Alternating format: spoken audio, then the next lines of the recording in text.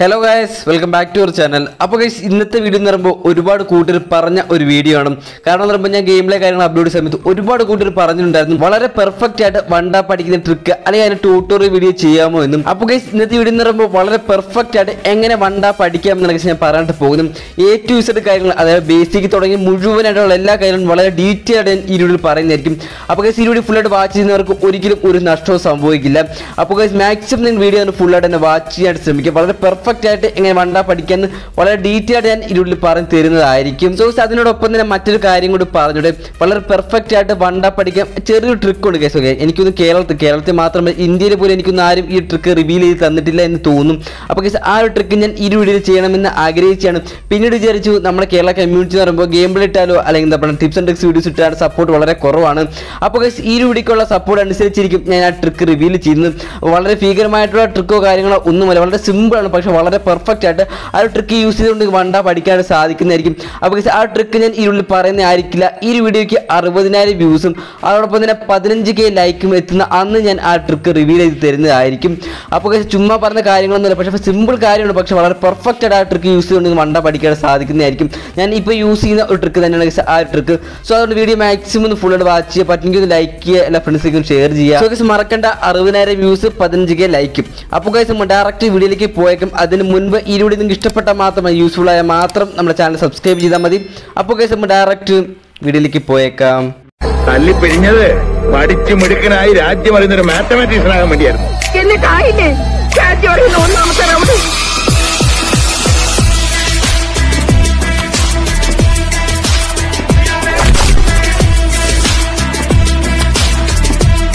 അപ്പോൾ കേസ് നമ്മൾ ഒരു കാര്യം ഒരാളോട് പറഞ്ഞു കൊടുക്കുന്ന സമയത്ത് അവർ വ്യക്തമായിട്ട് മനസ്സിലാകണമെങ്കിൽ ആദ്യം തൊട്ട് അവസാനം വരെയുള്ള എല്ലാ കാര്യങ്ങളും പറഞ്ഞു കൊടുക്കണം. അതുകൊണ്ട് വളരെ പെർഫെക്റ്റ് ആയിട്ട് എങ്ങനെ വണ്ട പഠിക്കാം എന്നതിനെ കുറിച്ചുള്ള ബേസിക് ആയിട്ടുള്ള കാര്യങ്ങൾ ഞാൻ ആദ്യം തന്നെ പറഞ്ഞത്. അതിൽ ഫസ്റ്റ് എന്ന് പറയുമ്പോൾ സെൻസിറ്റിവിറ്റി ആണ്. സോ ഗൈസ് വളരെ പെർഫെക്റ്റ് ആയിട്ട് വണ്ട പഠിക്കുന്നതിൽ ഫസ്റ്റ് അല്ലെങ്കിൽ ബേസിക് എന്ന് പറയുന്നത് അതിന്റെ സെൻസിറ്റിവിറ്റി ആണ്. അപ്പോൾ കേസ് പല വീഡിയോസിൽ കണ്ടിട്ടുള്ള ഒരു കാര്യമാണ്. ബ്രോഡ് സെൻസിറ്റിവിറ്റി എത്ര എനിക്ക് ആ സെൻസിറ്റിവിറ്റി വെക്കാനാണ് എന്ന് പറഞ്ഞുള്ള. ഒരുപാട് കമന്റ് കാര്യങ്ങൾ കാണാറുണ്ട്.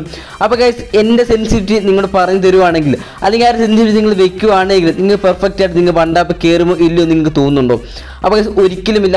എന്റെ ഫോണിന്റെ സെൻസിറ്റിവിറ്റി ആയിരിക്കില്ല നിങ്ങളുടെ ഫോണിന്റെ സെൻസിറ്റിവിറ്റി അപ്പോൾ ശേഷം നിങ്ങൊന്ന് പറഞ്ഞത് നോർമൽ വണ്ടാപ്പ് പഠിക്കാൻ നമുക്ക് മെയിനിൽ വേണ്ടതെന്ന് പറയുമ്പോൾ ജനറൽ സെൻസിറ്റിവിറ്റി ആണ്. ഈ ഒരു സെൻസിറ്റിവിറ്റി നിങ്ങളുടെ ഫോണിനനുസരിച്ച് നിങ്ങൾക്ക് കൈക്ക് കൺട്രോൾ ചെയ്യാൻ പറ്റുന്ന രീതിയിൽ വെച്ചാൽ മാത്രമേ വളരെ പെർഫെക്റ്റ് ആയിട്ട് നിങ്ങൾക്ക് വണ്ടാപ്പ് പഠിക്കാനായിട്ട് സാധിക്കുകയുള്ളൂ. അപ്പോൾ ഇതിൽ നിങ്ങൾ എന്താണെന്ന് പറഞ്ഞാൽ നിങ്ങളുടെ ഫോണിന്റെ ടച്ച് റെസ്പോൺസിബിലിറ്റി അതോടൊപ്പം റാം ലാഗ് കാര്യങ്ങൾ നോക്കിയതിന് ശേഷമാണ് ഈ ഒരു സെൻസിറ്റിവിറ്റി സെറ്റ് ചെയ്യേണ്ടത്. അപ്പോൾ നോർമലി ഞാൻ ജസ്റ്റ് കൂടെ ഒരു സെൻസിൽ ചോദിച്ചാൽ ഞാൻ പറയാം ഹൺഡ്രഡ് ആണെന്ന് ഞാൻ പറയുകയുള്ളൂ. പറ്റുമെങ്കിൽ മാക്സിമം ഹൺഡ്രഡ് വെക്കാൻ ശ്രമിക്കാം ചില കൂട്ടർക്ക് ഹൺഡ്രഡ് വെച്ചാൽ കൺട്രോൾ ചെയ്യാൻ സാധിക്കുന്നതായിരിക്കില്ല. അങ്ങനെയുള്ളവരാണെങ്കിൽ അതിനനുസരിച്ച് കുറച്ച് വെക്കാൻ ശ്രമിക്കാം അപ്പോൾ ഏകദേശം ഒരു ത്രീ ജി ബി റാമിന് താഴോട്ടുള്ളവരാണെങ്കിൽ മാക്സിമം ഒരു എൺപതിന് മുകളിലേക്ക് വെക്കാൻ ശ്രമിക്കാം ആരും എൺപത് സെൻസിലേക്ക് താഴോട്ട് വെക്കേണ്ട. ജനറൽ എൺപത് സെൻസിലേക്ക് താഴോട്ട് വെക്കേണ്ട കാര്യമില്ല എന്ന് ഞാൻ പറയുകയുള്ളൂ. മാക്സിമം ഒരു നൂറ് അതിന്റെ താഴെ പോവുകയാണ് എൺപത്. സോ അതിനുള്ളിൽ മാക്സിമം നിങ്ങൾ ഫോണിന്റെ ലാഗും അതിനോടൊപ്പം തന്നെ ഒരു ടച്ച് റെസ്പോൺസിബിലിറ്റി അനുസരിച്ച് നിങ്ങൾ വെക്കാൻ ശ്രമിക്കുക. അതുകൊണ്ട് നിങ്ങൾ ഓരോരുത്തരും ഒരു കാര്യം മനസ്സിലാക്കുക. മറ്റൊരാളുടെ സെൻസിറ്റിവിറ്റി കോപ്പി അടിച്ച് വെച്ചത് കൊണ്ട് ഒരു ഉപയോഗവും ഇല്ല. സോ ജസ്റ്റ് നിങ്ങളുടെ ഫോണിനനുസരിച്ച് തന്നെ നിങ്ങൾ സെൻസിറ്റീവ് വെച്ചാൽ മാത്രമേ വളരെ പെർഫെക്റ്റ് ആയിട്ട് പണ്ടപ്പ് കയറുകയുള്ളൂ ഓക്കെ അപ്പോൾ ബേസിക്കലി ഫസ്റ്റ് കാര്യമാണ് ഞാൻ ഇപ്പോൾ പറഞ്ഞത് അപ്പോൾ ഇനി ബേസിക്കലി വണ്ടാ പഠിക്കുന്നത് ബേസിക്കലി രണ്ടാമത്തെ കാര്യം എന്താണെന്ന് നോക്കി നോക്കാം. അപ്പോൾ ഗൈസ് ബേസിക്കലി രണ്ടാമത്തെ കാര്യം എന്ന് പറയുമ്പോൾ നിങ്ങൾ fire button size plus position ആണ് വളരെ പെർഫെക്റ്റ് ആയിട്ട് വണ്ടാ പഠിക്കാനായിട്ട് അതിനെ സ്വാധീനിക്കുന്ന രണ്ട് കാര്യങ്ങളാണ് ഈ fire button size plus position അപ്പോൾ ഇത് രണ്ട് വളരെ പെർഫെക്റ്റ് ആയിട്ട് വെച്ചാൽ മാത്രമേ ഞാൻ മുന്നേ പറഞ്ഞു വളരെ പെർഫെക്റ്റ് ആയിട്ട് നിങ്ങൾ വണ്ടാപ്പ് കയറുകയുള്ളൂ പല കൂട്ടരും പറഞ്ഞ് ഞാൻ കേട്ടിട്ടുണ്ട് ഫയർ ബട്ടൺ സൈസ് കുറച്ച് വെക്കണം എങ്കിൽ മാത്രം പെർഫെക്റ്റ് ആയിട്ട് വണ്ടാപ്പ് കയറുകയുള്ളൂ എന്നും. അങ്ങനെ ഒരു കാര്യം എന്നോട് പറയുകയാണെങ്കിൽ ഉറപ്പായിട്ട് ഞാൻ അതിനെ എതിർത്ത് തന്നെ സംസാരിക്കും. ഫയർ ബട്ടന്റെ സൈസ് കൂടി ഇന്നത് കൊണ്ടെന്ന് പറഞ്ഞ് ഒരു പ്രശ്നമില്ല വളരെ പെർഫെക്റ്റ് ആയിട്ട് വണ്ടാപ്പ് കയറും പക്ഷെ ഒറ്റ കണ്ടീഷൻ നിങ്ങളുടെ ഫോണിന്റെ വലുപ്പം. അതാണ് മെയിൽ ശ്രദ്ധിക്കേണ്ടത്. ഫോണിന്റെ സൈസ് അല്ലെങ്കിൽ ഫോണിന്റെ വലുപ്പം അനുസരിച്ച് മാക്സിമം നിങ്ങൾ ആ ഫയർ ബട്ടൺ സെറ്റ് ചെയ്യാവും. അപ്പോൾ ഒരുപാട് പേര് എനിക്കറിയാം two G B three G B റാമിൽ കളിക്കുന്ന ചെറിയ ഫോണുള്ളവരും ആ two G B three G B റാമിൽ കളിക്കുന്ന വലിയ ഫോണുള്ളവരും എനിക്കറിയാം. അതുകൊണ്ട് നിങ്ങൾ ഫോണിന്റെ സൈസ് അനുസരിച്ച് അല്ലെങ്കിൽ ഫോണിന്റെ ടച്ച് റെസ്പോൺസിബിലിറ്റിക്ക് അനുസരിച്ച് മാത്രം നിങ്ങൾ ഫയർ ബട്ടൺ സെറ്റ് ചെയ്യാവും. സോ അതും കേട്ടുകൊണ്ട് എന്റെ വലിയ ഫോണാണ് എന്നൊക്കെ പറഞ്ഞുകൊണ്ട് സൈസ് കൊണ്ട് നൂറൊന്നും വെച്ച് കളയല്ലേ അപ്പോൾ സൈസ് നൂറ് വെക്കണമെന്ന് ഒരിക്കലും ഞാൻ പറയില്ല.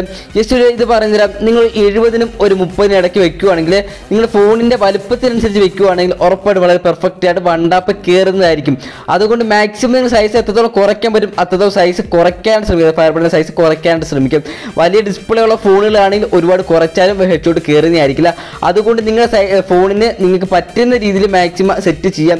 ഫയർബോട്ടിന്റെ സൈസ് കുറയുകയാണെങ്കിൽ വളരെ പെർഫെക്റ്റ് ആയിട്ട് ഗ്ലൂവാൾ ഇടാനായിട്ട് സാധിക്കില്ല. സോ അതൊക്കെ നോക്കിയതിന് ശേഷം നിങ്ങൾക്ക് നല്ല രീതിക്ക് പെർഫെക്റ്റ് ആകുന്ന രീതിയിൽ ഒരു ഫയർ ബട്ടന്റെ സൈസ് സെറ്റ് ചെയ്യുക. ഓക്കെ ഇതിനോടൊപ്പം തന്നെയുള്ള മറ്റൊരു കാര്യമാണ് നിങ്ങളുടെ ഫയർ ബട്ടന്റെ പൊസിഷൻ ഓക്കെ ഫയർ ബട്ടന്റെ പൊസിഷൻ കൃത്യമായിട്ട് വെച്ചാൽ മാത്രമേ വളരെ പെർഫെക്റ്റ് ആയിട്ട് വണ്ടാപ്പ് കയറുകയുള്ളൂ വെക്കാനെടുത്ത് വെച്ചാൽ മാത്രമേ കയറുകയുള്ളൂ കാരണം നിങ്ങൾ മനസ്സിലാക്കാം ഞാൻ നിങ്ങൾക്ക് കാണാൻ പറ്റുന്നതായിരിക്കും. ഞാൻ കസ്റ്റം എച്ച് ഡിനെ നാലായിട്ട് ഭാഗിച്ചിട്ടുണ്ട്. അതിൽ റൈറ്റിൽ താഴെയായിട്ടുള്ള ആ ഒരു കോളത്തിനുള്ളിൽ മാക്സിമം നിങ്ങൾ ഫയർ ബട്ടന്റെ പൊസിഷൻ വെക്കാകും എന്റെ അനുഭവത്തിൽ പറയുകയാണെങ്കിൽ അതിന് പുറത്തോട്ട് വെക്കുവാണെങ്കിൽ വളരെ പെർഫെക്റ്റ് ആയിട്ട് വണ്ടാപ്പ് കാര്യങ്ങൾ കയറുന്നതായിരിക്കില്ല അതുകൊണ്ട് ആ ഒരു കോളത്തിന് ഉള്ളിൽ നിങ്ങൾക്ക് പറ്റുന്ന രീതിയിലാണ് നിങ്ങൾക്ക് നല്ല രീതിക്ക് കംഫോർട്ട് ആകുന്ന രീതിയിൽ ആ ഒരു ഫയർ ബട്ടൺ പൊസിഷൻ കൊണ്ടുവന്ന് വെക്കാനായിട്ട് ശ്രമിക്കാം. അപ്പോൾ കേസ് ഞാൻ ഈ പറഞ്ഞ മൂന്ന് കാര്യങ്ങൾ നിങ്ങൾ മനസ്സിലായി എന്ന് ഞാൻ വിശ്വസിക്കുന്നു. അതായത് സെൻസിറ്റീവ് ഫയർ ബട്ടന്റെ സൈസ് പൊസിഷൻ അപ്പോൾ കേസ് ഇത് ബേസിക് ആയിട്ടുള്ള കാര്യങ്ങൾ ആയാൽ പോലും ഇത് മൂന്നും കൂടെ ചേർത്തുകൊണ്ട് ഇമ്പോർട്ടന്റ് ആയിട്ടുള്ള ഒരു കാര്യമാണ് കേസ് ഇനി പറയാനായിട്ട് പോകുന്നത് അപ്പോൾ കേസ് ഇത് സ്കിപ്പ് ചെയ്യരുത്. മാക്സിമം ഈ ഒരു കാര്യം നിങ്ങൾ ഫോളോ ചെയ്യുകയാണെങ്കിൽ ഉറപ്പാണ് വളരെ പെർഫെക്റ്റ് ആയിട്ട് വണ്ടാപ്പ് കയറുന്നതായിരിക്കും. നിങ്ങളുടെ സെൻസിറ്റീവ് ഫയർ ബട്ടന്റെ പൊസിഷൻ അതോടൊപ്പം തന്നെ ഫയർ ബട്ടന്റെ സൈസ് ഈ മൂന്ന് കാര്യങ്ങളും എപ്പോഴും എപ്പോഴും മാറ്റാതിരിക്കാനായിട്ട് ശ്രമിക്കുക. എപ്പോഴും ഒരു സെൻസിറ്റീവ് ഒരു ഫയർ ബട്ടന്റെ സൈസ് ഒരു പൊസിഷൻ വെച്ച് കളിക്കാം എങ്കിൽ മാത്രം വളരെ പെർഫെക്റ്റ് ആയിട്ട് വണ്ടാപ്പ് അതോടൊപ്പം തന്നെ ഹെഡ് ഷൂട്ട് കാര്യങ്ങൾ കയറികളും അപ്പോൾ കേസ് ഒരു വട്ടം ഒരു ഗെയിമിൽ നിങ്ങൾ ഒരു സൈസ് അല്ലെങ്കിൽ ഒരു പൊസിഷൻ വെച്ചു ഹെഡ് ഷൂട്ട് കയറുന്നില്ല വീണ്ടും അതിന്റെ സൈസ് പൊസിഷൻ മാറ്റി വീണ്ടും കയറുന്നില്ല അങ്ങനെ മാറ്റുവാണെങ്കിൽ ഒരിക്കലും ഹെഡ് ഷൂട്ട് കാര്യങ്ങളൊന്നും കയറുന്നതായിരിക്കില്ല നിങ്ങൾ ഒരു ഫയർ ബട്ടന്റെ സൈസ് പൊസിഷൻ വെച്ച് കളിക്കുകയാണെങ്കിൽ ഫസ്റ്റ് രണ്ടോ മൂന്നോ ഗെയിമിൽ ഹെഡ് ഷൂട്ട് കാര്യങ്ങളൊന്നും കയറുന്നതായിരിക്കില്ല പിന്നീട് ഒരു നാലോ അഞ്ചോ ഗെയിംസ് കളിച്ച് സെറ്റ് ആകുന്ന സമയത്ത് ഉറപ്പായിട്ട് വളരെ പെർഫെക്റ്റ് ആയിട്ട് ഹെഡ് ഷൂട്ട് കാര്യങ്ങൾ കയറി നിൽക്കും. സോ അതുകൊണ്ട് ഇച്ച് അതൊന്ന് മനസ്സിലാക്കാനായിട്ട് ശ്രമിക്കാം. അപ്പോൾ ഇത്തരം കാര്യങ്ങൾ ബേസിക് ആയിട്ടുള്ള കാര്യങ്ങളാണ് ഇത് പറഞ്ഞു അപ്പോൾ ഇത്തരം പറഞ്ഞ വീഡിയോയിലൂടെ ലെങ്ത് ആയിട്ടുണ്ട്. എന്തായാലും ഞാൻ ഇതിൽ ഫുൾ കാര്യങ്ങൾ പറയുന്നുണ്ട്. അപ്പോൾ ഇനി നമ്മൾ വണ്ടാപ്പിനെ കുറിച്ചുള്ള ഇമ്പോർട്ടന്റ് ആയിട്ടുള്ള കാര്യങ്ങൾ നോക്കാനായിട്ട് പോകുന്നത്. ഒരിക്കലും സ്കിപ്പ് ചെയ്ത് ഫുൾ ആയിട്ട് തന്നെ വാച്ച് ചെയ്യുക. അപ്പോൾ കേസ് ഞാൻ ഇനി പറയാനായിട്ട് പോകുന്ന കുറച്ച് കാര്യങ്ങൾ ഇമ്പോർട്ടന്റ് ആയിട്ടുള്ള കുറച്ച് കാര്യങ്ങളെ കുറിച്ചാണ്.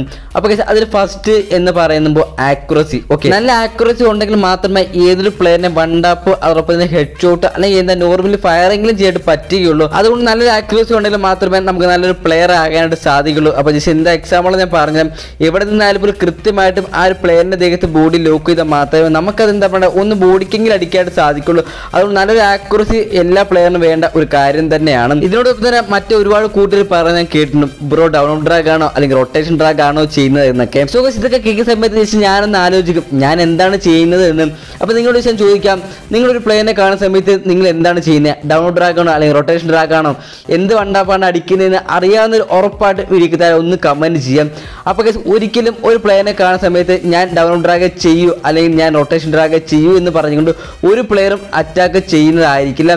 ആ ഒരു സാഹചര്യം സാഹചര്യം എന്ന് പറയുമ്പോഴത്തേക്കും ആ ഒരു എയിം ബട്ടന്റെ പൊസിഷൻ ഓക്കെ അത് നോക്കി മാത്രമേ നമുക്ക് ആ ഒരു പ്ലെയറിനെ വണ്ട പഠിക്കാൻ അല്ലെങ്കിൽ റൊട്ടേഷൻ ഡ്രാഗോ അല്ലെങ്കിൽ ഡൗൺ ഡ്രാഗോ ചെയ്യാൻ സാധിക്കുകയുള്ളൂ. അതായത് ആ ഒരു എനിമിയുടെ ഏത് വശത്താണ് നമ്മുടെ എയിം ബട്ടന്റെ പൊസിഷൻ എന്ന് നോക്കിയതിന് ശേഷമാണ് ഗൈസ് നമ്മുടെ ഫയർ ബട്ടന്റെ മൂവ്മെന്റ് എന്ന് പറയുന്നത്.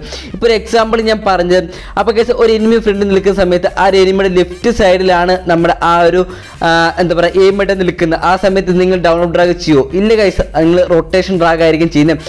ഇടത്തോട്ടാണെങ്കിൽ റൊട്ടേറ്റ് ചെയ്യും. ഇല്ല റൈറ്റിലോട്ട് തന്നെ റൊട്ടേറ്റ് ചെയ്യും. അതായത് മുൻപേ പറഞ്ഞ കണക്ക് തന്നെ സാഹചര്യങ്ങൾ നോക്കി നിങ്ങൾ ഓട്ടോമാറ്റിക് ചെയ്യുന്ന ഒരു കാര്യമാണ് ഗൈസ് ഈ ഒരു കാര്യം എന്ന് പറയുന്നത്. അതുകൊണ്ട് ഇന്ന യൂട്യൂബർ അല്ലെങ്കിൽ ഇന്ന പ്ലെയർ ഡൗൺലോഡ് ഡ്രാഗ് ആണ് ചെയ്യുന്നത്. ഞാനും അതുകൊണ്ട് ഡൗൺലോഡ് ഡ്രാഗ് മാത്രം ചെയ്യൂ അല്ലെങ്കിൽ റൊട്ടേഷൻ ഡ്രാഗ് മാത്രം ചെയ്യൂ എന്ന് പറഞ്ഞിരിക്കുകയാണെങ്കിൽ അങ്ങനെ നോക്കിക്കൊണ്ടിരിക്കുക മാത്രമേ ഉള്ളൂ. ആ ഓരോരോ സാഹചര്യങ്ങൾ നോക്കിയ ശേഷം മാത്രമേ നിങ്ങൾ ഫയർ ബട്ടൺ മൂവ്മെന്റ് ചെയ്യൂ.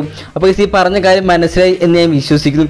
ഇനി നമുക്ക് ബേസിക് ആയിട്ടുള്ള അല്ലെങ്കിൽ ഞാൻ ഇതിൽ പറയാൻ ഉദ്ദേശിക്കുന്ന മെയിൻ ആയിട്ടുള്ള കാര്യം എന്താണ് എന്ന് പറഞ്ഞു തരാം. സാധാരണ വണ്ട പഠിക്കുമ്പോൾ എല്ലാവരും ചെയ്യുന്ന കാര്യം ഫയർ ബട്ടൺ ഡ്രാഗ് ചെയ്ത് എറിഞ്ഞ കളയാറാണ് ഈ പതിവുള്ളത് അപ്പോൾ എറിഞ്ഞ് കളയാറോ? അതെന്തോ സംഭവം ഉദ്ദേശിച്ചെന്ന് ചോദിച്ചാൽ ഞാൻ പറഞ്ഞ കാര്യമാണോ നിങ്ങൾ ഉദ്ദേശിച്ചതെന്ന് എനിക്ക് അറിയില്ല ഒരു ഹാൻഡ് ക്യാം വീഡിയോ കാണിക്കാൻ പറ്റുമായിരുന്നുവെങ്കിൽ നിങ്ങൾക്ക് വ്യക്തമായിട്ട് മനസ്സിലായി പക്ഷേ ഹാൻഡ് ക്യാം കാണിക്കാനായിട്ടുള്ള ഒരു സാഹചര്യം ഇല്ലാത്തതുകൊണ്ട് കാണിക്കാത്തതും എനിക്ക് തോന്നുന്നു ഇപ്പോൾ ഒരുപാട് കൂട്ടരും ക്വിക്ക് സ്വിച്ച് ഓപ്പൺ യൂസ് ചെയ്യുന്നുണ്ട് എന്നാണ്. നിങ്ങൾ ക്വിക്ക് സ്വിച്ച് ഓപ്പൺ യൂസ് ചെയ്യുന്നുണ്ട് എങ്കിൽ ഈ ഒരു പ്രശ്നം ഉണ്ടാകുന്നതായിരിക്കില്ല. അപ്പോൾ guys, പല കൂട്ടരും മനസ്സിലാക്കി വെച്ചിരിക്കുന്ന ഒരു കാര്യം എന്ന് പറയുമ്പോൾ ഈ ക്വിക്ക് സ്വിച്ച് ഓപ്പൺ യൂസ് ചെയ്യുന്നത് എന്തിനാ വെച്ചാൽ പെട്ടെന്ന് തന്നെ ഗണ്ണ് സ്വിച്ച് ചെയ്യാൻ ആയിരിക്കും എന്നാണ്. പക്ഷേ ഇതിന് പിന്നിൽ വേറൊരു കാര്യമുണ്ട് വളരെ പെർഫെക്റ്റ് ആയിട്ട് വണ്ടാപ്പ് കയറുന്നതിൽ ഒരു വലിയ പങ്ക് വഹിക്കുന്ന ഒന്നാണ് ഗൈസ് ഈ ക്വിക്ക് സ്വിച്ച് വെപ്പൺ അപ്പോൾ ഇതിനെക്കുറിച്ച് ഡീറ്റെയിൽ ആയിട്ട് ഞാൻ വേറൊരു വീഡിയോ ചെയ്യുന്നതായിരിക്കും. അതിലാണ് ഗൈസ് ഞാൻ ഈ ഒരു മുന്നേ പറഞ്ഞതൊക്കെ തന്നെ എന്താ പറയുക ഒരു ട്രിക്ക് റിവീൽ ചെയ്യാണ്ട് പോകുന്നത് അപ്പോൾ മുൻപ് പറഞ്ഞതൊക്കെ തന്നെ ഈ വീഡിയോക്ക് അറുപതിനായിരം വ്യൂസ് പതിനഞ്ച് കെ ലൈക്കോടെങ്കിൽ മാത്രമേ ഞാൻ ആ ട്രിക്ക് റിവീൽ ചെയ്യുകയുള്ളൂ. ക്വിക്ക് സ്വിച്ച് വെപ്പൺ ഒരിക്കലും ഗണ്ണ് സ്വിച്ച് ചെയ്യാൻ മാത്രമല്ല ഗൈസ് വർക്ക് ആകുന്നത് അപ്പോൾ സാധാരണ നമ്മൾ ഫയർ ചെയ്യുന്ന സമയത്ത് ആ ഒരു ഫയർ ആ ഒരു എനിമിയുടെ അടുത്ത് എത്തുന്ന സ്പോട്ടിൽ നമ്മൾ ക്വിക്ക് സ്വിച്ച് വെപ്പൺ യൂസ് ചെയ്യുവാണെങ്കിൽ വളരെ പെർഫെക്റ്റ് ആയിട്ട് ഹെഡ് ഷോട്ട് കയറുന്നതായിരിക്കും സോ അതിന്റെ പിന്നിൽ ചെറിയൊരു കാര്യമുണ്ട്. ഞാൻ അതിനെക്കുറിച്ച് ഡീറ്റെയിൽ ആയിട്ട് വേറെ വീഡിയോ ചെയ്യുന്നതായിരിക്കും. അതുകൊണ്ട് ക്വിക്ക് സ്വിച്ച് ഓപ്പൺ യൂസ് ചെയ്യാൻ പറ്റുന്ന എല്ലാ കുറിച്ചും maximum quick switch open use ചെയ്യാനായിട്ട് ശ്രമിക്കുക. ഓക്കെ അപ്പോൾ ഗൈസ് ഇനി ഞാൻ പറയാനായിട്ട് പോകുന്ന ഈ ഒരു വീഡിയോയിൽ മെയിൻ ഇമ്പോർട്ടന്റ് ആയിട്ടുള്ള അല്ലെങ്കിൽ എന്താണ് ഈ ട്രിക്ക് എന്നാണ് അതായത് നോർമലി എല്ലാ കൂട്ടരും പതുക്കിനെ ആയിരിക്കും ഫയർ ബട്ടൺ ഡ്രാഗ് ചെയ്യുന്നത് അപ്പോൾ ഒരിക്കലും ഫയർ ബട്ടൺ പതുക്കിനെ ഡ്രാഗ് ചെയ്യരുത്. എത്രത്തോളം ഞെക്കി പിടിച്ച് ഡ്രാഗ് ചെയ്യാൻ പറ്റും അത്ര രീതിക്ക് ഞെക്കി പിടിച്ച് ഡ്രാഗ് ചെയ്യുക എന്ന് പറഞ്ഞ് ഫോൺ കുത്തി പൊട്ടിച്ച് കളയല്ലേ? ഓക്കെ ഫോൺ കുത്തി പൊട്ടിച്ചതിന് ശേഷം ഞാനാണ് ഉത്തരവാദി എന്നൊന്നും ആരും പറഞ്ഞ് കളയൽ നിങ്ങളോട് എത്രത്തോളം അമർത്തി ക്ലിക്ക് ചെയ്യാൻ പറ്റും അത്രത്തോളം അമർത്തി മാക്സിമം ഫയർ ബട്ടൺ ക്ലിക്ക് ചെയ്യുകയാണെങ്കിൽ വളരെ പെർഫെക്റ്റ് ആയിട്ട് വണ്ടാപ്പ് കയറാനുള്ള ചാൻസ് കൂടുന്നതായിരിക്കും. സോ ഇത് മാക്സിമം നിങ്ങൾ ട്രൈ ചെയ്ത് നോക്കുക ഉറപ്പാണ് നിങ്ങൾക്ക് നല്ലൊരു മാറ്റം സംഭവിക്കുന്നതായിരിക്കും. അപ്പോൾ ഈ പറഞ്ഞ കാര്യം മനസ്സിലായി എന്ന് വിശ്വസിക്കുന്നു. അവസാനം പറഞ്ഞത് മാക്സിമം നിങ്ങൾ അമർത്തി ഫയർ ബട്ടൺ അമർത്തി പിടിച്ച് നിങ്ങൾ ഡ്രാഗ് ചെയ്യുകയാണെങ്കിൽ ഉറപ്പാണ് വളരെ പെർഫെക്റ്റ് ആയിട്ട് വണ്ടാപ്പ് കയറുന്നതായിരിക്കും അപ്പോൾ ഈ വീഡിയോയിൽ പറഞ്ഞ എല്ലാ കാര്യങ്ങളും വ്യക്തമായിട്ട് ഫോളോ ചെയ്യുകയാണെങ്കിൽ ഉറപ്പാണ് ഞാൻ നൂറ്റി ഒന്ന് ശതമാനം ഗ്യാരണ്ടി നൽകുന്നു. നിങ്ങൾ വളരെ പെർഫെക്റ്റ് ആയിട്ട് വണ്ട പഠിക്കാനായിട്ട് സാധിക്കുന്നതായിരിക്കും. അപ്പോൾ കേസ് ഈ ഇത്ര മാത്രമേ എനിക്ക് വീഡിയോയിലൂടെ ലെങ്ത് ആയി പോയിട്ടുണ്ട് വീഡിയോ ഇഷ്ടപ്പെട്ടിട്ടുണ്ടെങ്കിൽ ഉറപ്പായിട്ട് വീഡിയോ ലൈക്ക് ചെയ്യുക. മാക്സിമം എല്ലാ ഫ്രണ്ട്സിലേക്കും എല്ലാ വാട്സപ്പ് ഗ്രൂപ്പുകളിലേക്ക് ഒന്ന് ഷെയർ ചെയ്ത് കട്ടൊക്കെ സപ്പോർട്ട് കൂടി ചെയ്യാൻ ശ്രമിക്കാം. മുൻപ് പറഞ്ഞ അറുപതിനായിരം വ്യൂസ് പതിനഞ്ച് കെ ലൈക്ക് എത്തുന്ന ഉറപ്പാണ് ഞാൻ ട്രിക്ക് റിവീൽ ചെയ്യുന്നതായിരിക്കും. അപ്പോൾ കേസ് ഈ ഇത്ര മാത്രമേ വിഷയം ലൈക്ക് ഷെയർ സബ്സ്ക്രൈബ് ചെയ്യാം. അപ്പോൾ കേസ് ഇതിനായിട്ട് നല്ല അടിപൊളി വീഡിയോ വീണ്ടും കണ്ടുമുട്ടുന്നു പ്രതീക്ഷയോടെ പ്രണവ്. Bye bye